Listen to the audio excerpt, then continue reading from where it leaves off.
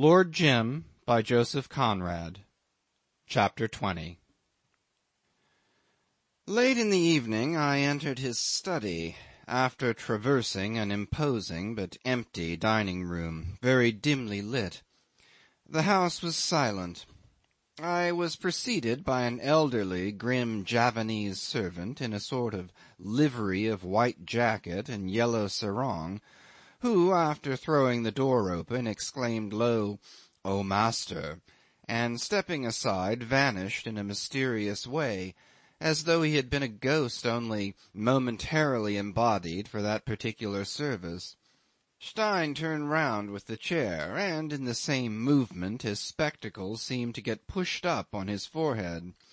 He welcomed me in his quiet and humorous voice. Only one corner of the vast room, the corner in which stood his writing desk, was strongly lighted by a shaded reading lamp, and the rest of the spacious apartment melted into shapeless gloom like a cavern. Narrow shelves filled with dark boxes of uniform shape and colour ran round the walls, not from floor to ceiling, but in a sombre belt about four feet broad. Catacombs of beetles. Wooden tablets were hung above at irregular intervals. The light reached one of them, and the word Coleoptera, written in gold letters, glittered mysteriously upon a vast dimness. The glass cases containing the collection of butterflies were ranged in three long rows upon slender legged little tables. One of these cases had been removed from its place and stood on the desk which was bestrewn with oblong slips of paper blackened with minute handwriting. "So you see me? So," he said. His hand hovered over the case, where a butterfly in solitary grandeur spread out dark bronze wings, seven inches or more across, with exquisite white veinings and a gorgeous border of yellow spots. Only one specimen like this they have in your London and then no more. to my small native town this my collection I shall bequeath. Something of me, the best. He bent forward in the chair and gazed intently, his chin over the front of the case. I stood at his back. Marvellous, he whispered, and seemed to forget my presence. His history was curious. He had been born in Bavaria, and when a youth of twenty two had taken an active part in the revolutionary movement of 1848. Heavily compromised, he managed to make his escape, and at first found a refuge with a poor republican watchmaker in Trieste. From there he made his way to Tripoli with a stock of cheap watches to hawk about. Not a very great opening, truly, but it turned out lucky enough because it was there he came upon a Dutch traveller, a rather famous man, I believe, but I don't remember his name. It was that naturalist who, engaging him as a sort of assistant, took him to the East. They travelled the archipelago together and separately, collecting insects and birds for four years or more. Then the naturalist went home, and Stein, having no home to go to, remained with an old trader he had come across in his journeys in the interior of Celebes, if Celebes may be said to have an interior.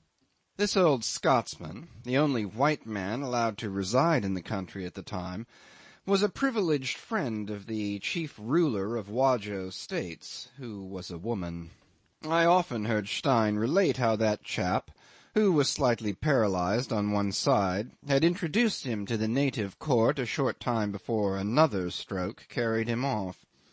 He was a heavy man with a patriarchal white beard and of imposing stature. He came into the council hall, where all the Rajahs, Pangerans, and headmen were assembled, with the Queen, a fat, wrinkled woman, very free in her speech, Stein said reclining on a high couch under a canopy. He dragged his leg, thumping with his stick, and grasped Stein's arm, leading him right up to the couch. Look, Queen and your Rajahs, this is my son, he proclaimed in a stentorian voice. I have traded with your fathers, and when I die he shall trade with you and your sons. By means of this simple formality Stein inherited the Scotsman's privileged position and all his stock in trade, together with a fortified house on the banks of the only navigable river in the country. Shortly afterwards the old queen, who was so free in her speech, died, and the country became disturbed by various pretenders to the throne. Stein joined the party of a younger son the one whom thirty years later he never spoke of otherwise but as "my poor Mohammed Bonso."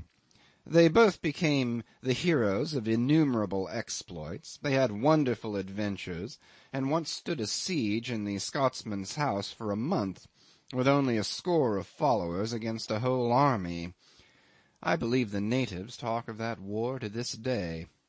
Uh, meantime, it seems, Stein never failed to annex to his own account every butterfly or beetle he could lay his hands on. After some eight years of war, negotiations, false truces, sudden outbreaks, reconciliation, treachery, and so on, and just as peace seemed at last permanently established, his poor Mohammed Bonso was assassinated at the gate of his own royal residence while dismounting in the highest spirits on the return from a successful deer hunt. This event rendered Stein's position extremely insecure, but he would have stayed, perhaps, had it not been that a short time afterwards he lost Mohammed's sister. "My dear wife the princess," he used to say solemnly, by whom he had had a daughter mother and child both dying within three days of each other from some infectious fever. He left the country which this cruel loss had made unbearable to him. Thus ended the first and adventurous part of his existence. What followed was so different that but for the reality of sorrow which remained with him this strange part must have resembled a dream. He had a little money, he started life afresh, and in the course of years acquired a considerable fortune. At first he had travelled a good deal amongst the islands, but age had stolen upon him, and of late he seldom left his spacious house three miles out of town. With an extensive garden, and surrounded by stables, offices, and bamboo cottages for his servants and dependents, of whom he had many. He drove in his buggy every morning to town, where he had an office with white and Chinese clerks. He owned a small fleet of schooners and native craft, and dealt in island produce on a large scale. For the rest he lived solitary, but not misanthropic, with his books in his collection, classing and arranging specimens, corresponding with entomologists in Europe writing up a descriptive catalogue of his treasures. Such was the history of the man whom I had come to consult upon Jim's case, without any definite hope; simply to hear what he would have to say would have been a relief. I was very anxious, but I respected the intense, almost passionate absorption with which he looked at a butterfly, as though on the bronze sheen of these frail wings in the white tracings, in the gorgeous markings, he could see other things, an image of something as perishable and defying destruction as these delicate and lifeless tissues displaying a splendour unmarred by death. "Marvellous!" he repeated, looking up at me. "Look! The beauty! But that is nothing. Look at the accuracy, the harmony! And so fragile! And so strong, and so exact. This is nature, the balance of colossal forces. Every star is so, and every blade of grass stands so, and the mighty cosmos in perfect equilibrium produces this, this wonder, this masterpiece of nature, the great artist. "Never heard an entomologist go on like this," I observed cheerfully. "Masterpiece! And what of man?" "Man is amazing, but he is not a masterpiece," he said, keeping his eyes fixed on the glass case. "Perhaps the artist was a little mad, eh? What do you think? Sometimes it seems to me that man is come where he is not wanted, where there is no place for him. For if not, why should he want all the place? Why should he run about here and there, making a great noise about himself, talking about the stars, disturbing the blades of grass, catching butterflies?" I chimed in. He smiled, threw himself back in his chair, and stretched his legs. "Sit down," he said. "I captured this rare specimen myself one very fine morning, and I had a very big emotion. You don't know what it is for a collector to capture such a rare specimen. You can't know." I smiled at my ease in a rocking chair. His eyes seemed to look far beyond the wall at which they stared, and he narrated how one night a messenger arrived from his poor Mohammed, requiring his presence at the "residence," as he called it, which was distant some nine or ten miles by a bridle path over a cultivated plain, with patches of forest here and there. Early in the morning he started from his fortified house, after embracing his little Emma and leaving the princess, his wife, in command. He described how she came with him as far as the gate, walking with one hand on the neck of his horse. She had on a white jacket, gold pins in her hair, and a brown leather belt over her left shoulder with a revolver in it. "She talked as women will talk," he said, "telling me to be careful and to try to get back before dark, and what a great wickedness it was for me to go alone. We were at war, and the country was not safe.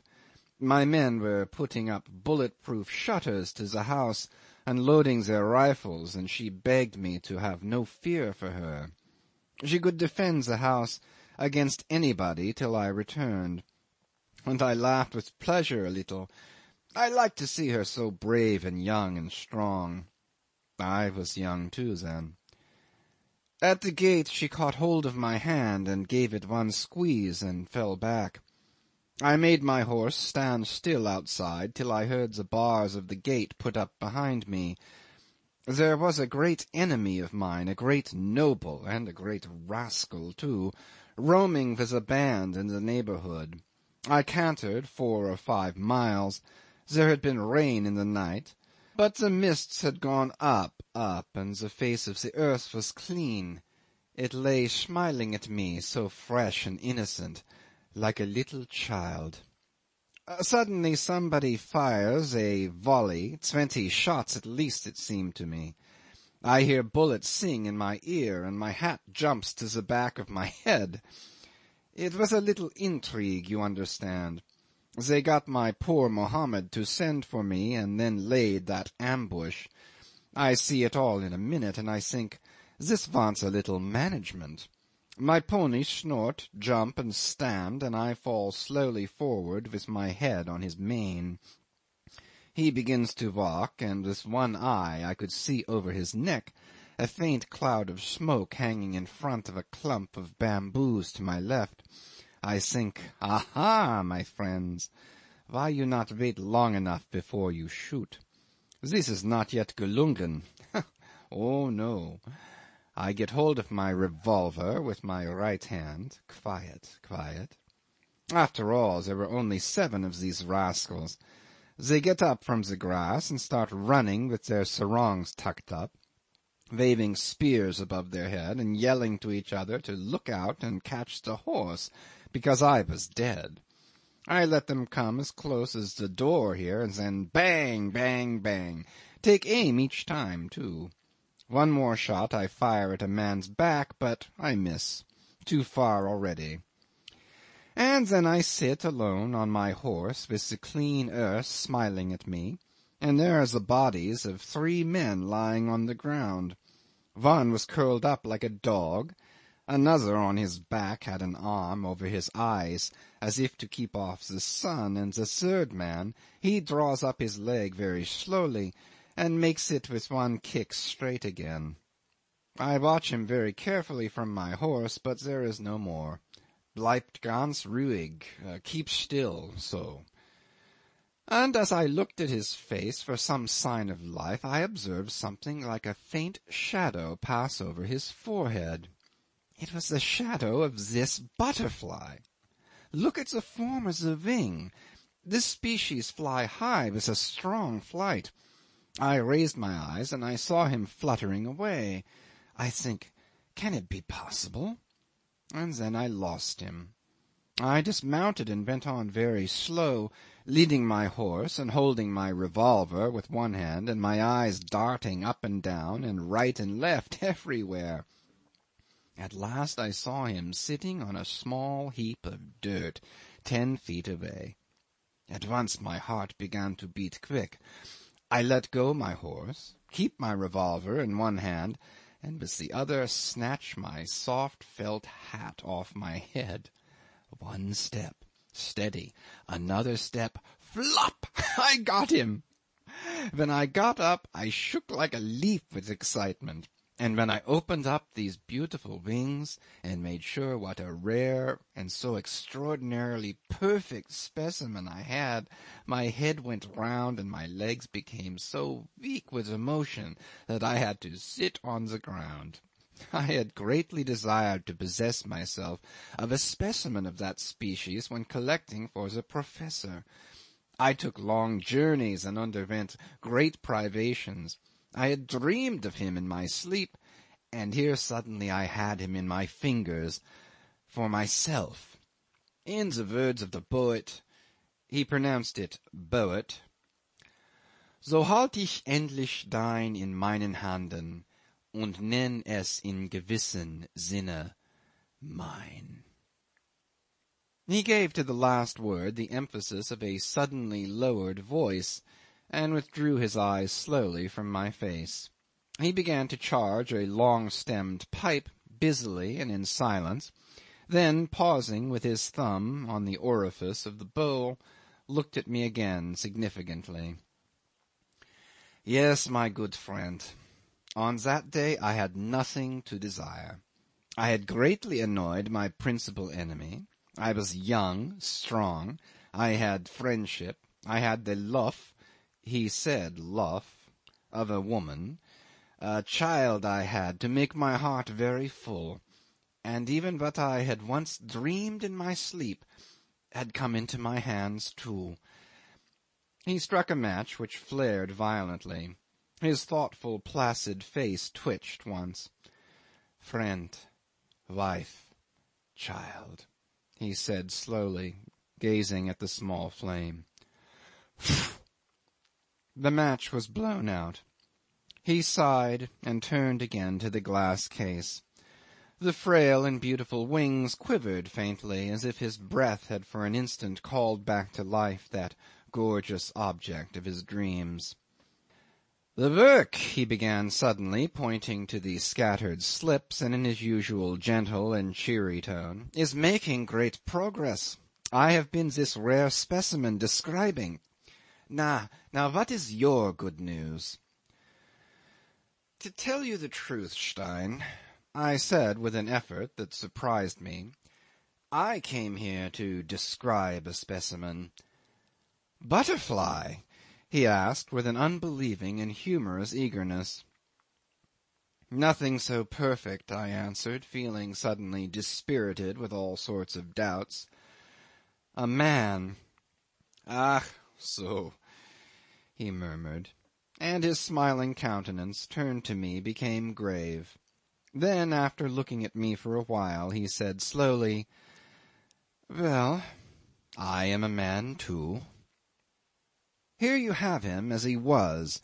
He knew how to be so generously encouraging as to make a scrupulous man hesitate on the brink of confidence. But if I did hesitate it was not for long. He heard me out, sitting with crossed legs. Sometimes his head would disappear completely in a great eruption of smoke, and a sympathetic growl would come out from the cloud. When I finished he uncrossed his legs laid down his pipe, leaned forward towards me earnestly with his elbows on the arms of his chair, the tips of his fingers together. "I understand very well. He is romantic." He had diagnosed the case for me, and at first I was quite startled to find out how simple it was. And indeed our conference resembled so much a medical consultation, Stein of learned aspect sitting in an arm chair before his desk, I anxious in another facing him but a little to one side, that it seemed natural to ask, "What's good for it?"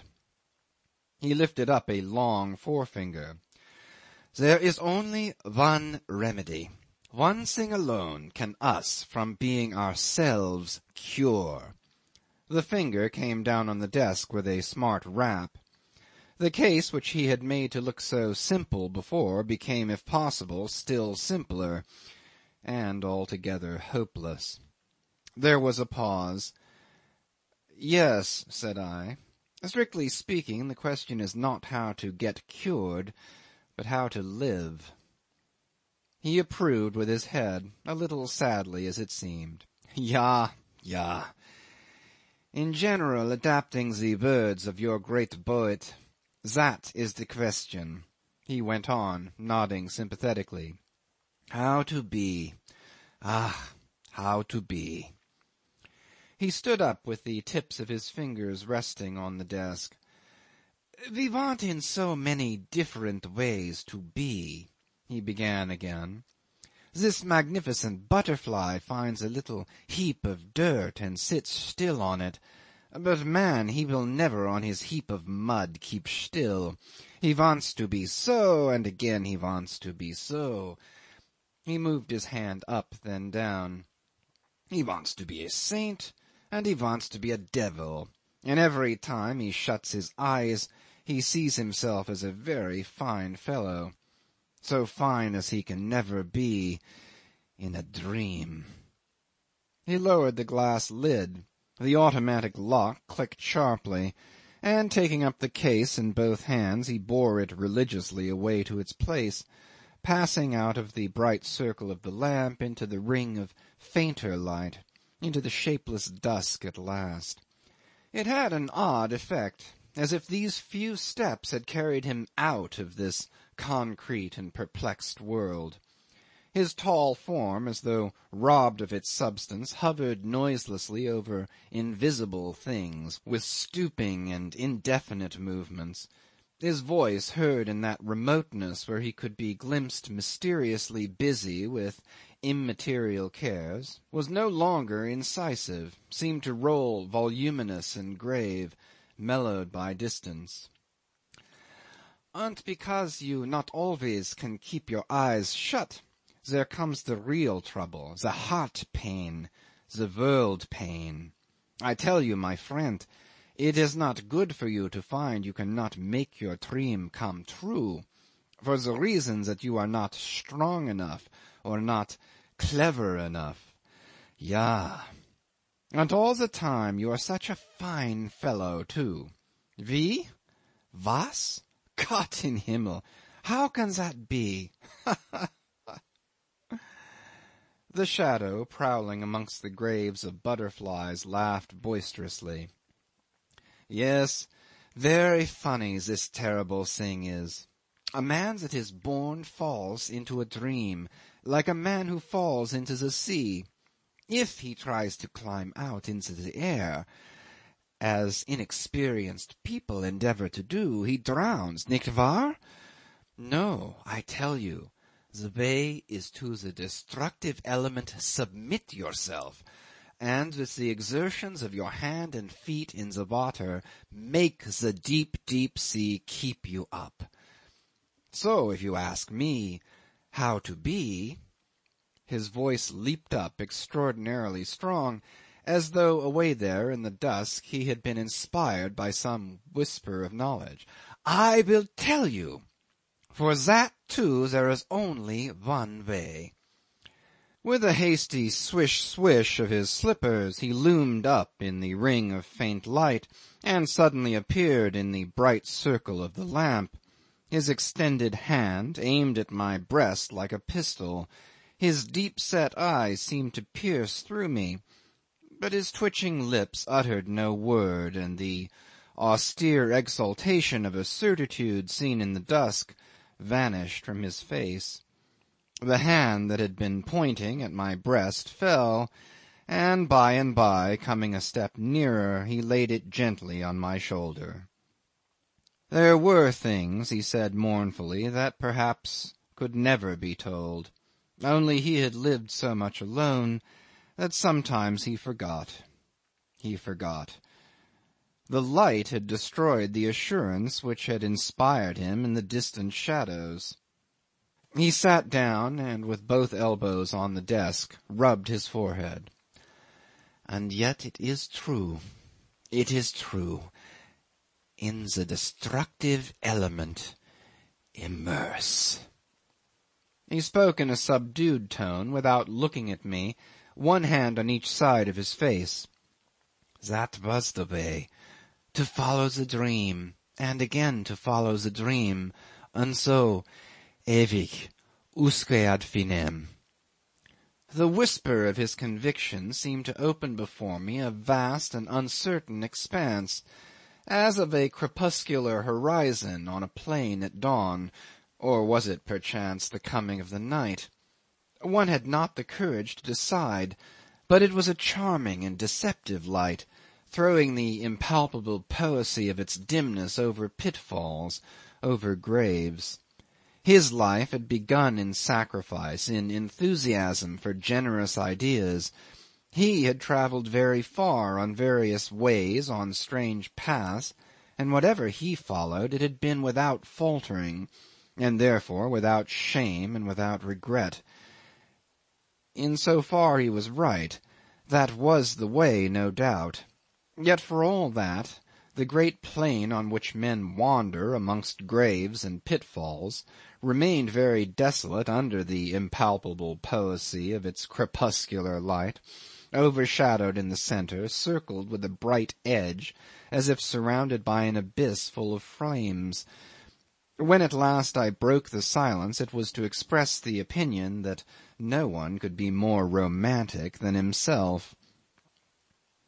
He shook his head slowly, and afterwards looked at me with a patient and inquiring glance. It was a shame, he said. There we were, sitting and talking like two boys, instead of putting our heads together to find something practical, a practical remedy for the evil, for the great evil, he repeated, with a humorous and indulgent smile. For all that, our talk did not grow more practical. We avoided pronouncing Jim's name as though we had tried to keep flesh and blood out of our discussion or he were nothing but an erring spirit, a suffering and nameless shade. "Na!" said Stein, rising. "To night you sleep here, and in the morning we shall do something practical. Practical." He lit a two branched candlestick and led the way.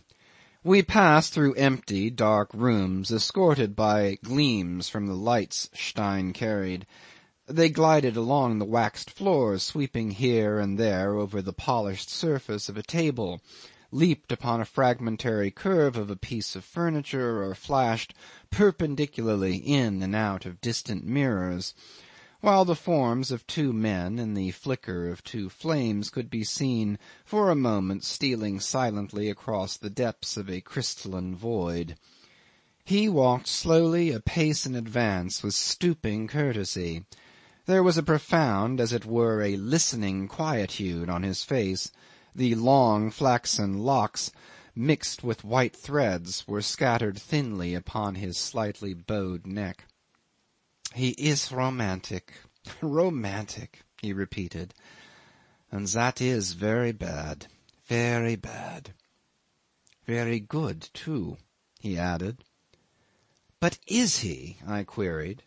"Gewiss," he said and stood still, holding up the candelabrum, but without looking at me. "Evident! What is it that by inward pain makes him know himself? What is it that for you and me makes him exist?" At that moment it was difficult to believe in Jim's existence. Starting from a country parsonage, blurred by crowds of men as by clouds of dust silenced by the clashing claims of life and death in a material world. but his imperishable reality came to me with a convincing, with an irresistible force.